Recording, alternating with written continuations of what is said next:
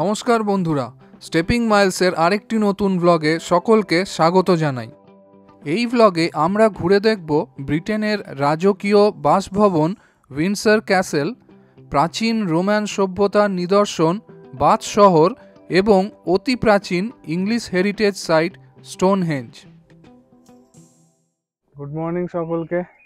আজকে সকাল সকাল আমরা উইন্ডসার ক্যাসেলে চলে এসেছি। এই বাস ট্যুর করছি টুয়েলভ আওয়ার্স বাস জার্নি তো এরপরে আমাদের গন্তব্য হচ্ছে বাথ এবং তারপরে হবে স্টোন হেঞ্জ সমস্ত এক্সপিরিয়েন্স আপনাদের সাথে শেয়ার করব। সঙ্গে থাকুন। গেট ইওর গাইড অ্যাপ থেকে আমরা বুক করেছিলাম এই প্যাকেজ ট্যুরটি এবং আমাদের তিনজনের খরচা পড়েছিল ফোর এইটটি পাউন্ড যার মধ্যে উইন্ডসার, বাথ এবং স্টোনহেঞ্জের এন্ট্রি ফিও ইনক্লুডেড ছিল। ভিক্টোরিয়া স্টেশনের নিকটবর্তী গ্রসভেনার গার্ডেন্স থেকে আমাদের জার্নি শুরু হয় সকাল সাড়ে সাতটায়। আমাদের গাইড মিস্টার ব্রুস বেশ রসিক মনের মানুষ ছিলেন। আমাদের এক মিনিটের জন্যও বোর হতে দেননি।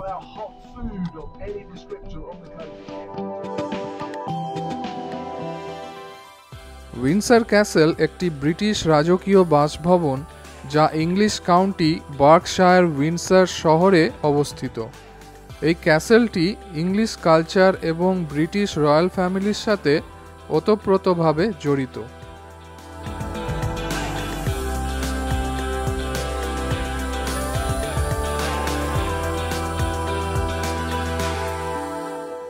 আমরা প্যাকেজ ট্যুরে এটা অ্যাভেল করছি। তো আমাদেরকে এরকম ব্যান্ড দিয়েছে, গ্রিন ব্যান্ড। এর মানে অল এন্ট্রিজ দেওয়া আছে।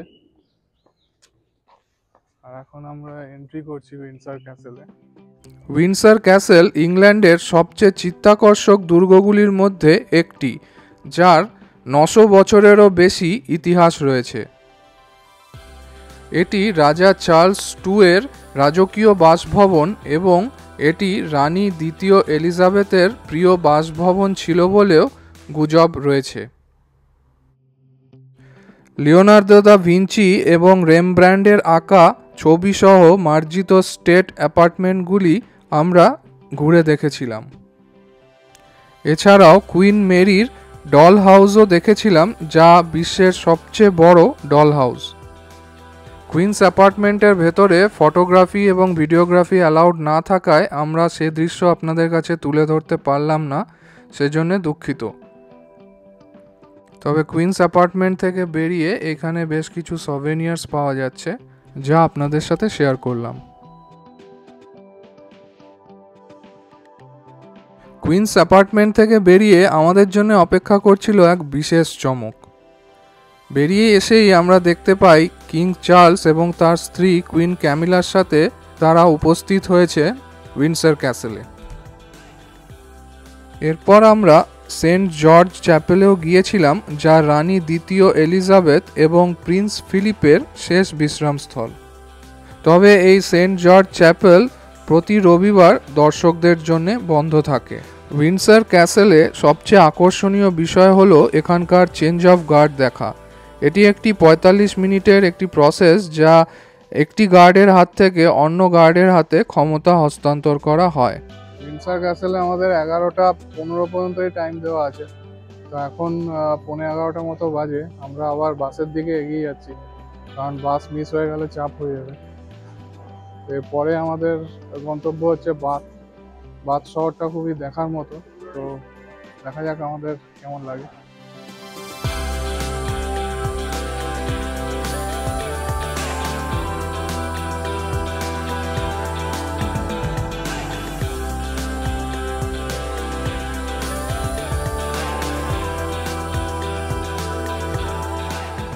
আমাদের সফরের পরবর্তী গন্তব্য ছিল প্রাচীন শহর বাত, যেখানে রোমানরা সত্তর খ্রিস্টাব্দে একটি স্পা তৈরি করেছিলেন।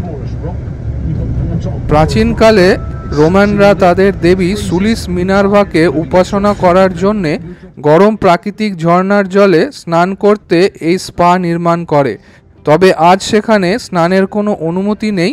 ট্যুরিস্টরা রোমান ফুটপাতে হাঁটতে হাঁটতে এই প্রাচীন নির্মাণের কাঠামো দেখতে পারেন অথবা এই ঝর্ণার জলের কিছু নমুনাও সংগ্রহ করতে পারেন।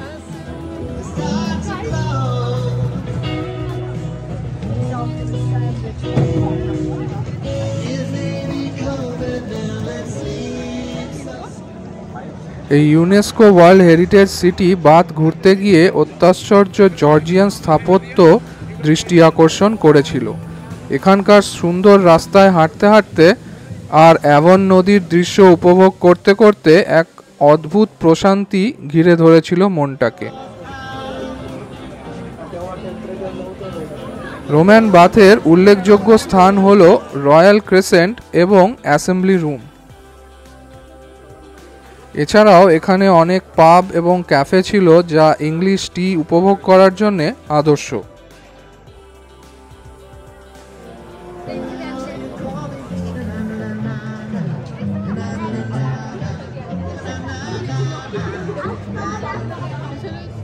নেটফ্লিক্স সিরিজ ব্রিগারটন তৈরিতে বাতের এক ভূমিকা আছে। এই শহরের অনেক স্থানই এই সিরিজে ব্যবহৃত হয়েছে।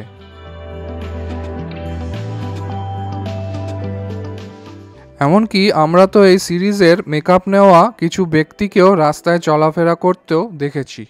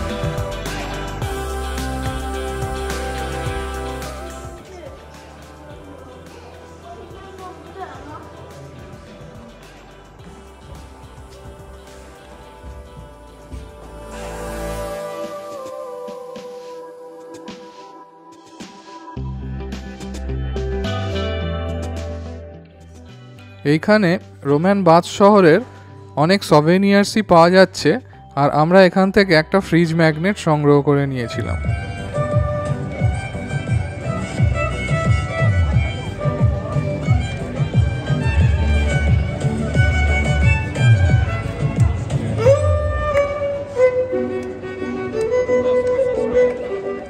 সামনে ওই কোট হ্যাট পরা ব্যক্তিদের দেখতে পাচ্ছেন? ওনাদের কথাই আমি বলছিলাম, যারা ব্রিগার্টন সিরিজে অভিনয় করেছেন।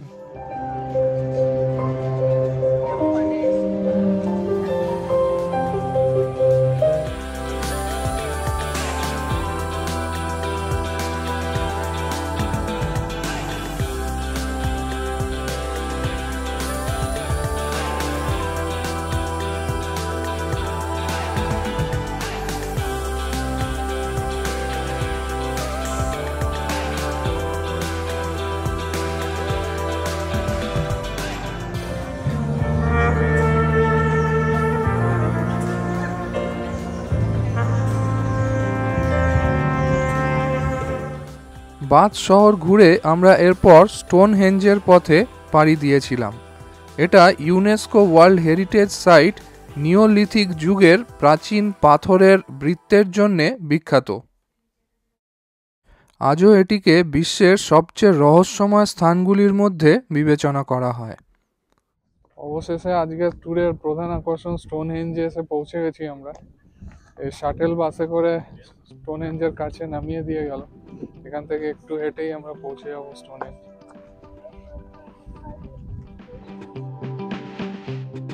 স্টোনহেঞ্জ যাওয়ার পথে আমাদের গাইড স্টোনহেঞ্জ কীভাবে এবং কেন তৈরি হয়েছিল তা বর্ণনা করেন। তার থেকেই আমরা জানতে পারি এখানে আড়াইশোটির বেশি প্রত্নতাত্ত্বিক বস্তুর প্রদর্শন আছে। অদ্ভুত সুন্দর লাগছে জায়গাটা। চারিদিকে ধুধু মাঠ। সবুজ চারিদিকে খুব সুন্দর দেখাচ্ছে।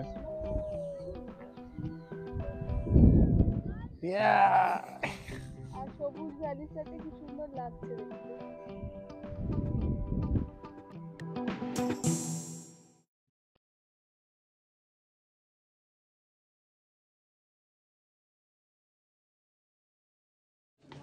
স্টোনহেঞ্জের মেন গেটের সংলগ্ন এই সোভেনিয়ার শপে অনেক রকমের সভেনিয়ার্সই পাওয়া যাচ্ছে, আপনারা দেখতে পাচ্ছেন। এখানে স্টোনহেঞ্জ গাইড বুকের ওপরে পঁচিশ পার্সেন্ট ছাড়ও পাওয়া যাচ্ছিল।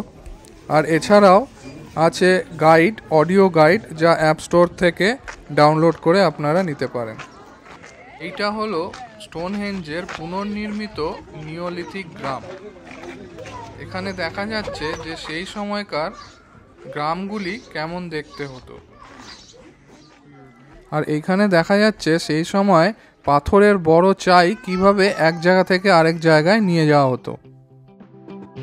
আর এখন আমরা চলে এসেছি স্টোনহেঞ্জের মেন গেটের সংলগ্ন ক্যাফেটেরিয়াতে এখানে লাঞ্চ বা অন্যান্য রিফ্রেশমেন্টেরও ব্যবস্থা রয়েছে। উইন্সার বাথ এবং স্টোনহেঞ্জের অভিজ্ঞতা আমাদের এই পর্যন্তই ছিল। আমাদের এই ভ্লগটা আপনাদের কেমন লাগল তা জানাতে ভুলবেন না। আর এই চ্যানেলের সঙ্গে থাকতে সাবস্ক্রাইব বাটনে ক্লিক করে আমাদের সঙ্গে থাকতে পারেন। তাই দেখা হচ্ছে পরের ব্লগে ধন্যবাদ।